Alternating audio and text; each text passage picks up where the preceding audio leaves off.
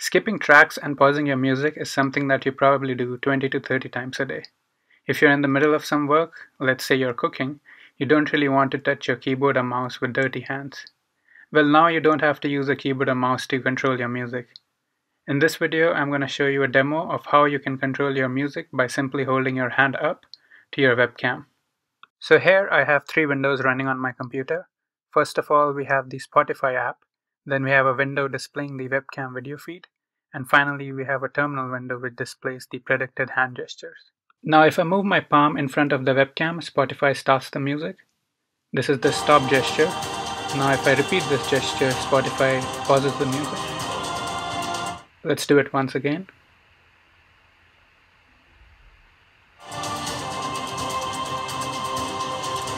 Now let's try changing the songs.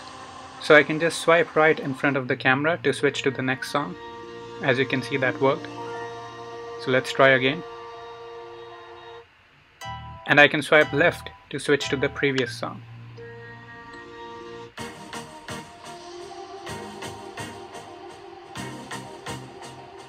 Rolling hand backwards will reduce the volume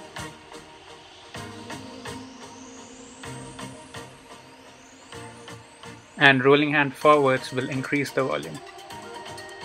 So pay attention at the volume bar there, you can see it's changing.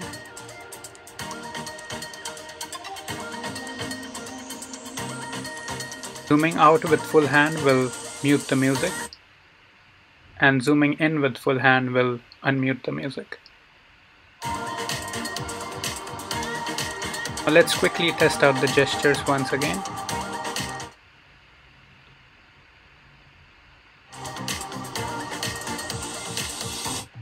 You can use any camera to capture the video and then process it right on the device itself, as the model is super light and doesn't require much processing power to predict the gestures.